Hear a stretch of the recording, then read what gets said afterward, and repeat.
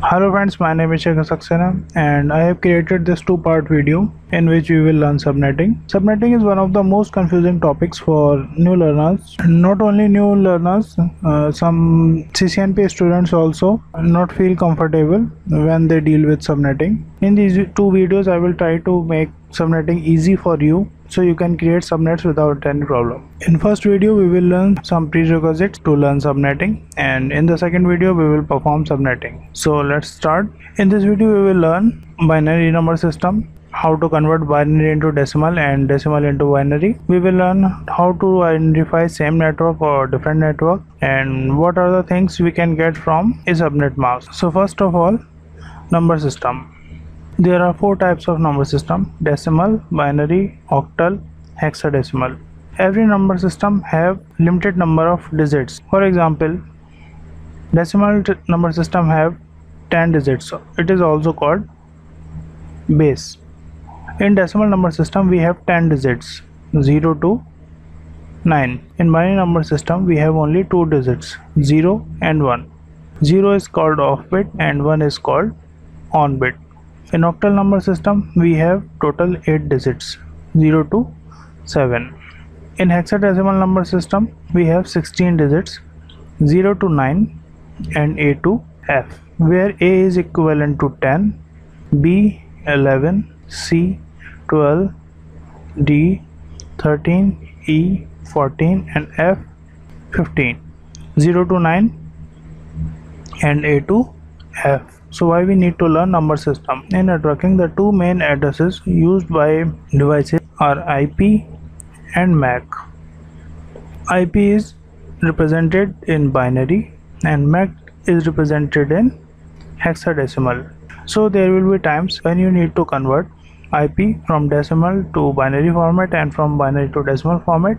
And sometimes you will have to convert hexadecimal mac address into decimal so in this video we are not going to convert hexadecimal. We will just focus on binary to decimal and decimal to binary number system. So binary number system have two digits 0 and 1 the thing we need to learn is how we can convert decimal into binary. If you are watching this video then maybe you are already familiar with ip so there is one ip 10.0.0.5 ip is a 32 bit number and divided in four parts. Every part is 8 bit long. So IP is 32 bit long number. We convert these 32 bit binary digits into decimal number. To convert IP into binary we need to convert every octet separately. So to convert this IP we have to convert 10 into binary zeros into binary and 5 into binary. So how to convert 10 into binary? In order to convert 10 into binary or to convert decimal into binary if you memorize this table this will be very beneficial for you. In this table we have power of 2 0 1 2 3 4 5 6 7 and their value. So when we have to convert 10 into binary then we need to add digits yeah we need to turn on the places by which we can get 10 for example 8 and 2 we will get 10 by adding 8 and 2 then we will turn on these two bits and all the other bits will be off. So binary of 10 will be 0 0 0 0 1 0 1 0 the binary of 0 will be all zeros. 1 2 3 4 5 6 7 8 the binary of 5 will be so how, we can get 5 number? By adding 4 and 1 so if we write the position here 1 2 4 8 60 32 64 128 then the 4 and 1 place will be on and the all other bits will be 0 this will be binary of 5 so 10 0 0 5 in binary 0 0 0 0 1 0 1 0 0 0 0 0 0 and 0 0 0 0 0 1 0 1 this will be the binary of 10 0 0 5 let's take another example. Suppose we have ip 192 dot uh, 115 dot 10 dot 29 so we have to convert this ip into binary. 192 115 10 and 29 then what will be the binary of 129 keep this table here. So we can easily add numbers. So for 192 128 will be on. And we get 64 64 will be on. And nothing left. So all remaining bits will be 0 for 115 we can't have 128 because 128 is already larger than 115 64 will be on. 115 64 will be on. And then we have 1 and 5 51 32 will be there. 32 so we have 19 16 will be there and remaining 3 2 and 3 for 10 we already know 8 and 2 for 29 no 128 no 64 no 32 16 and 8 16 and 8 will be 24 24 of 5 4 0 1 so binary of 192 115 10 dot 20 will be 1 1 0 0 0 0 0 0 0 1 1 1 0 0 1 1 and 0 0 0 0 1 0 1 0 and 0 0 0 1 1 1 0 1 so i guess now you get the idea how to convert decimal into binary. Now we will see how to convert binary into decimal. We just need to add the on bits. 1 2 4 8 16 32 64 128 so to convert this binary into decimal we just need to add one digits number. So 128 plus 4 plus 2 plus 1 by adding all these number we will get 135 135 will be a decimal of this number. Generally you don't have to convert binary into decimal. Only these 8 digits you will need to convert from binary into decimal because these digits are used in subnet mask so if we have one bit on the decimal value will be 128 if we have two bits on then decimal value will be 128 plus 64 if we have 3 bits on then 2 to 4 4 bits on 240 248 252 254 and 255 when you will do some subnetting examples you will memorize these digits. So now we know how to convert decimal into binary and binary into decimal. Second thing you must know in order to learn subnetting is identifying network that what is the network of IP or devices are on same network or not? Or if we have two IPs as you can see in example 192.168.10.20 and 192.168.10.128 these IPs are on same network or not? And why we need to know that devices are on same network or not? Because devices on same network can be connected directly via switch but devices on different network could not communicate directly. They need a layer 3 device or router in order to communicate with each other. To understand this properly, we must know what is subnet mask. So subnet mask divide IP in two parts, network and host. This is an IP 192.168.10.20 and subnet mask of this IP is 255.255.255.0. If we convert this IP into binary we will get this number and binary of subnet mask is this.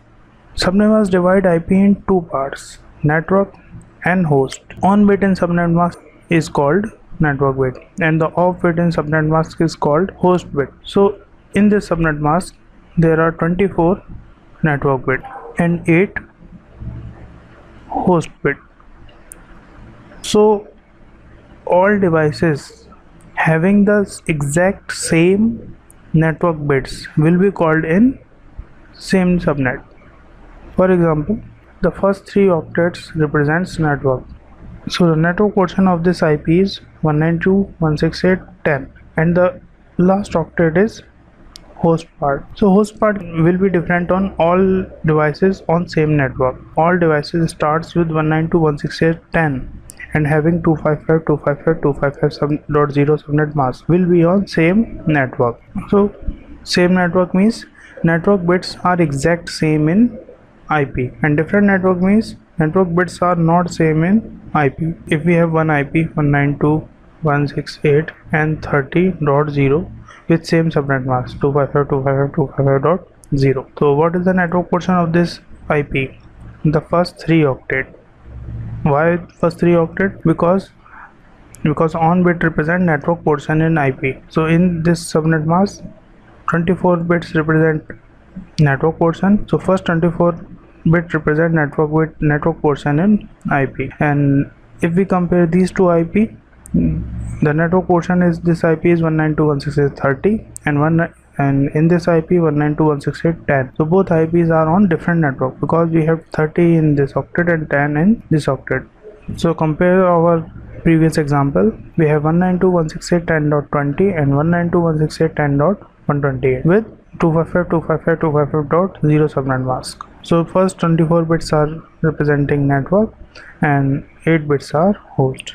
In this IP also first 24 bits network and 8 host. So now we know that the network portion must be same if devices are on same network. So as you can see the first octet second octet and third octet these 24 bits are exact same in both IPs so we can say both of these IPs are on same network. Now take another example.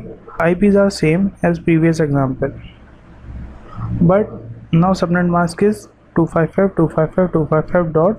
255.255.255.240 which means network portion is increased in last octet. And now we have 28 network bits and 4 host bit. And in this IP also we have 28 network bit and 4 host bit. So now we know that network portion must be same on both IPs if they are on same network the three octets are exactly same in both IPs but the first bit of fourth octet is 0 in this IP and 1 in this IP that means the network portion for 28 bits are not same in both of these IP that means these two IPs are not on same network. We need a route in order to communicate between these two IPs so maybe you are thinking this is too confusing that you have to convert IP into binary then you can find that IPs are on same network or not. And we will see how to identify same and different network in very shortcut method when we learn subnetting right now my motive is just to show you what is the meaning of same and different network. So in short if network portion is same on both IPs then devices are on same network. And if network portion is different on both IPs then devices are on different network. In the last section of this video we will see what things we can get from subnet mask network bits host bit number of hosts we can connect network id and broadcast id as we already know number of on bits are called network bits. So in this ip the first 24 bits will be network bits and and 8 of bits will be host bits how many hosts we can connect on network? If we write one more ip 92168.30.20 with default subnet mask. Both of these IPs are on different network. The network portion of this IP is 192.168.10 and this IP is 192.168.30 but there must be some limit of host we can add on this network. How to calculate how many hosts we can connect on 192.168.30 network. There is a simple formula 2 raised to the power number of off bits. In this subnet mask we have 8 off bits 2 raised to the power 8 256 we can add 256 256 hosts on this network. The first ip will be 192.168.30.0 the 192.168.30 network will start from this ip the next ip will be 192.168.30.1 and this will goes on until 255 in ip every part is divided into 8 bits and we know if all 8 bits are on we will get 255 number. So what will the next ip of 192.168.30.255 after that the next ip will be 0 and 1 goes here. So 31 168 192 as we can see the network is changed to 192.168.31 so in 192.168.30 network we have 0 to 255 total 256 host as we have calculated from our formula. So with the help of hostbit we can calculate how many hosts we can connect on a network what is network id the first ip of network is called network id so this ip is network id broadcast id last ip is called broadcast id so this will be broadcast id and these two ips are reserved and we could not use these ips on host. That's why we always subtract 2 from total host this we will discuss in the subnetting video. So following are the things we can obtain from our subnet mask. So in this video we have learned binary number systems uh, conversion from binary to decimal. And we have seen how we can define IPs around same network or different network and what things we can get from our subnet mask. Total host usable host network ID broadcast ID and subnetted bits subnetted bits I have not covered uh, right now. We will see in the subnetting video. So that's all for this video. In next video we will see how to perform subnetting. Thanks for viewing